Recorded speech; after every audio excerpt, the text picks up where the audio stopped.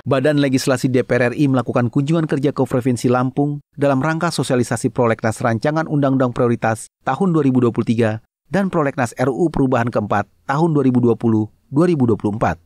Dalam kunjungannya, anggota Komisi Balek DPR RI Iko Mangkoheri mengatakan, Balek mempunyai kewajiban untuk mensosialisasikan dan menyebarluaskan prolegnas RUU Prioritas tahun 2023 dan prolegnas RUU Perubahan keempat tahun 2020-2024 kepada masyarakat.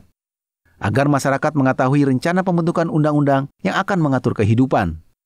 Komang berharap dalam proses pembentukan undang-undang tersebut, masyarakat dapat memberikan masukan-masukan yang pada akhirnya setiap RUU yang akan ditetapkan menjadi undang-undang senantiasa mencerminkan kebutuhan dan aspirasi masyarakat.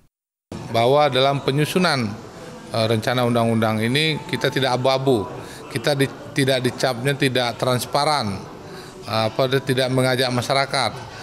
Oleh karena itu kita tadi memberikan uh, juga pemaparan ya tentang prolegnas yang usulannya yang pertama dari uh, DPR RI, ada juga dari pemerintah, ada juga dari DPD. Dan dengan kita melibatkan masyarakat sehingga tim uh, akan dihasilkan undang-undang yang juga berpihak kepada masyarakat.